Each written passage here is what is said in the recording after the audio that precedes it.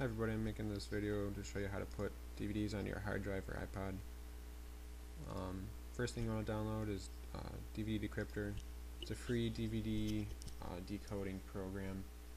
It basically takes your entire DVD and puts it in a, file on your computer for you. Um, first thing you want to do is stick your disk in. It should pop up here with all the menus and stuff on the side. I just leave it in file mode. I don't really touch any of those other settings it works pretty good just how it is.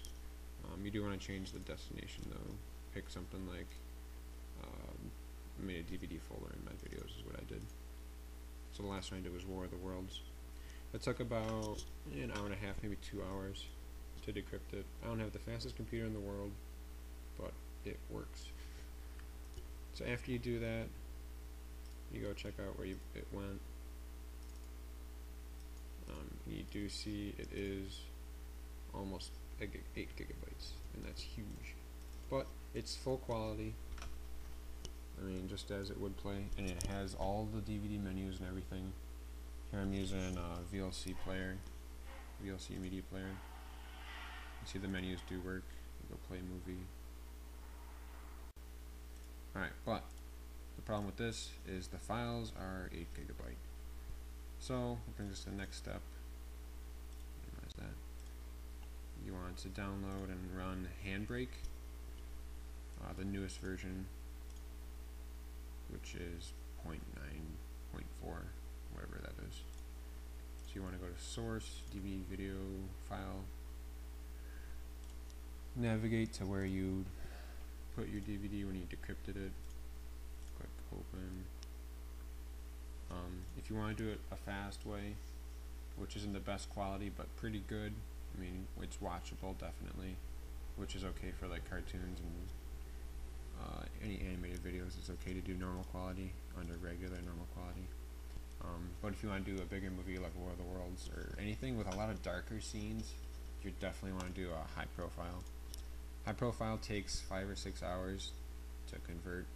Uh, normal takes maybe two or three it's about twice as long I guess um, and then I use iPod Legacy for the iPod Video Classic. Um, not sure about any of the um, iPod Touch uh, presets and stuff but those are the only three I really use. So after you pick your quality. You hit start up here. Brings up this thing. It starts encoding. It'll, it'll tell you how many minutes remaining and everything else.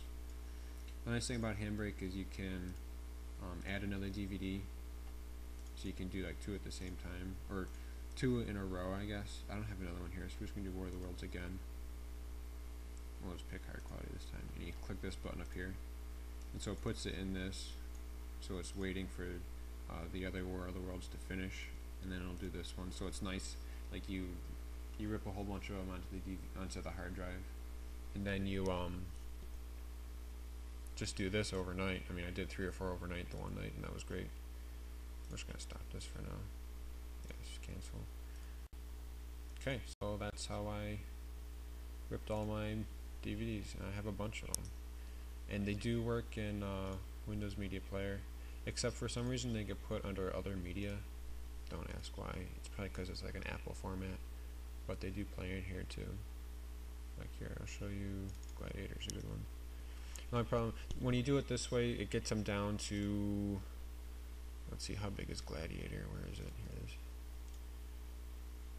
1.31 gigabyte, which is like a seventh or a sixth the size of what it was before.